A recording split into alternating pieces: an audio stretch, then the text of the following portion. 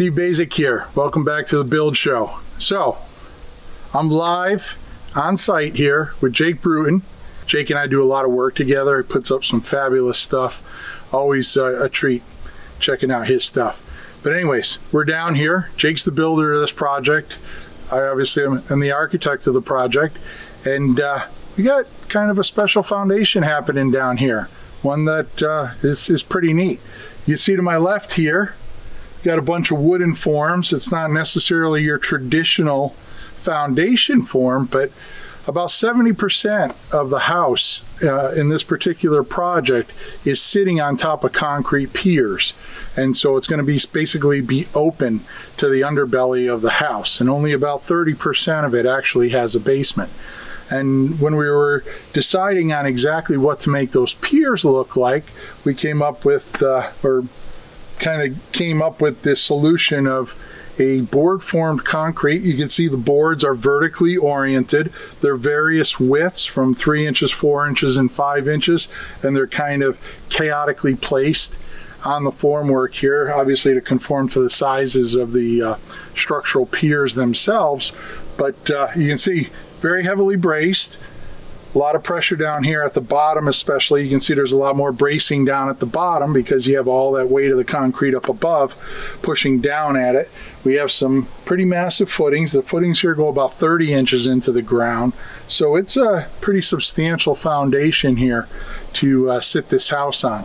But why don't we take a look over here? We got a pier over here that uh, the formwork is stripped on. So you can see there we get that nice knife-like edge. I know uh, Jake and Brad took the time to take all the rounded edges off of the board forms and so we ended up with some nice square edges and you can see we get that kind of plank relief. The idea was to run them vertically kind of in a juxtaposition of the horizontal siding of the house. And you can see up beyond here we have the uh, the basically the foundation. So right above me, we're going to have this house flying and it's going to fly out that way and then it's going to finish with this beautiful cantilever deck which is a, just a story unto itself. We're working with this uh, I, I, call him the genius of steel russell built emmett uh, emmett can build it out of steel if we can think it up so we uh, gave him a challenge he's up for it and i'm looking forward to that part of the project. But getting back to the piers you can see our foundation wall is there we have our uh, drainage system being placed there. This is all going to get backfilled. Now, the thing to understand is we're actually standing below grade, and when we actually start backfilling this, the ground is going to be somewhere up in here. So most of this is going to be below grade, and this is going to slope down so that when we get to this pier, which is about 15 feet away, you know, we're going to probably be at mid pier down through here. And then by the time we get to this behemoth of a concrete pier, we're going to be down in here somewhere, climbing down and then kind of breaking grade here and then just catching up to the grade beyond. But this one here is actually a pretty special one. As you can see, it's twice the thickness of the other ones and it's a little longer than the other ones. So this one has this two foot shelf that's one inch deep, and then it has that one by one foot upper piece. Well, the house actually ends right here, flies across to that pier. This is the base plate for that 10 foot cantilever deck that's basically going to fly out over that. Now, there's no piers, no posts, nothing. The deck is only has this attachment and the attachment that's mirrored on the other side. They're 8 by 8 steel columns, and everything gets rigidly moment framed to that and basically flies out. And as it flies out, it tapers. And uh, it's just to look spectacular. So, anyways, really cool foundation. Jake and Brad are doing a fabulous job out here.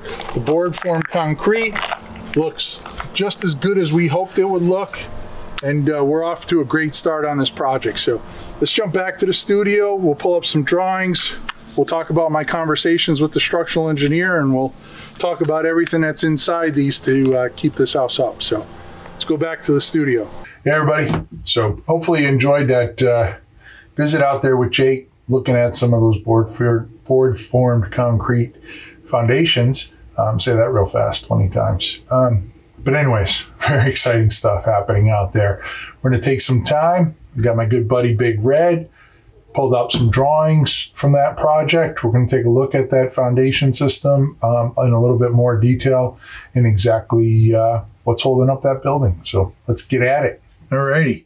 So here's a quick building section that I extracted out of the building drawing set, the construction drawing set. And you can see here we have the house where we have that main body here where we talked about that has the basement. And then you can see the section that's out on piers here where we have our piers. And basically that floor frame that goes and hangs out on them. You can also see here, this is where we talked about, this was pretty much the existing grade. Remember when we were out there, we talked about how you could see a little bit of that footing, but when we regraded it, you can see how that new grade is going to come up and hide all that stuff so that we just have those piers coming out of the ground. You can see, you know, each one of the piers, we have some extensive pieces of rebar coming up in there. You can see this is the one that has that little shelf where uh, we're carrying out that cantilever deck there to kind of mimic the cantilevered roof system. But uh, I also printed out some of those details, but wanted to give you that overview of what's happening here. And uh, let's take a look at uh, those details. So, here's a couple of those footing details. This is one. This is basically the same footing detail. Um, you can see it here. It's just cut. This one here is parallel to the rim joist. This one here is perpendicular to that uh, floor framing system there that you can see. So the joists are coming out at you instead of uh, going out into the side. So there's our basic uh, 10 inch wide wall by 30 inch wide concrete pier. You can see the massive footings under there. There's all series of rebar there.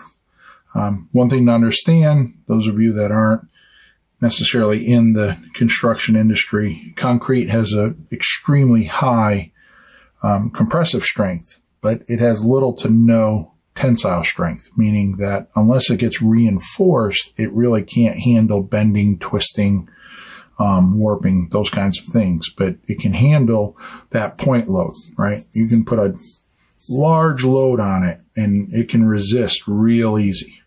But the minute this thing wants to go like this, well, this side here of that concrete pier is in compression, right? But this side here, should the pier want to sway, ends up being in tension where it wants to stretch instead of compress and it really can't handle that. So we need to be able to resist those forces that as the wind blows on this building that it needs to be able to resist that movement in the building. Hence we have all this reinforcement in there. So you can see here in the short section, we have a couple vertical bars. Those vertical bars go deep down into the footing, right? They're basically spiking that wall down into that deep footing. And then we have a series of stirrups here. And these stirrups are nothing more than a piece of rebar that looks something like that. And it goes around those four bars that rise up, or in this case, six bars that rise up. So there'd be a couple more bars in there. But basically those stirrups tie that whole system together. On the long side, again, it's very similar to that detail. It's just expanded into from the 10 inch to the 30 inch. We have the vertical bars. We have a whole series of horizontal bars. So we have that matrix that gets built inside, basically a steel cage. And then we cover it with concrete. So the concrete handles the compressive strength. It also provides the durability and weatherization um, to the project. And uh, the steel handles all of the tensile forces inside. Now, taking that pier up, we then have to connect it to our wood floor framing system. So you can see here we have those two sections, but I also have a plan section there, and you can see that, you know, here's our floor joists, or in this case, we have a double mud sill. That double mud sill gets anchored at six points. So there's two that way and then three the long way. And those, I believe, are just Titen uh, bolts that get put in afterwards. So somewhere we have a name for those. Um, and they get bolted down. So basically, we have the concrete pier goes into the ground, puts that load in. The ground here resists, right? Basically holds the building up. And then we need an attachment for the wood frame to that. So we end up having this 30 inch double plate and it gets bolted down in six places. And then we have the wall sheathing comes down and that attaches into the side of that double mud sill, as well as we have this Simpson angle that the structural engineer called out for. You see it there and you see it here.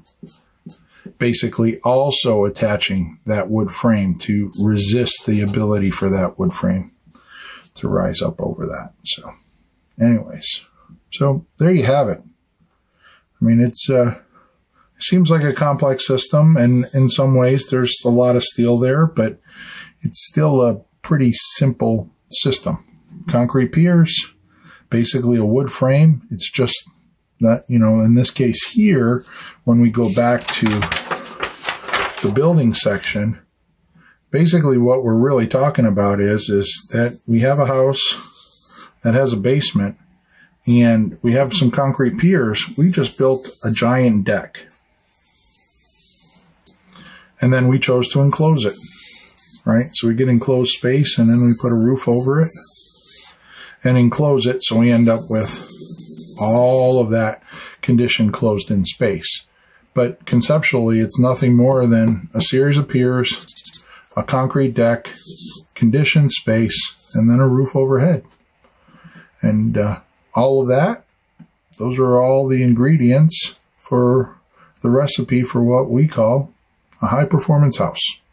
So Anyways, we're closing out Big Red. That's all we got for drawings this week. All right, everybody. Got the cap on Big Red. That means we're done talking, right?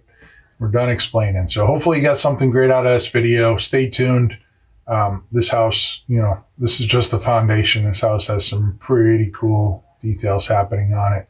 Very exciting stuff happening down there. Of course, I got my good friend Jake building it, so that's always a treat when we have him on uh, on site. But uh, anyways, go check out the Build Build Show Network. We're putting all kinds of new stuff up there every week. We got webinars. We got my colleagues Matt, Jake, Wade, Brent putting up information every week. It's all free. Go check it out. Lots of great stuff. These guys are killing it with the videos.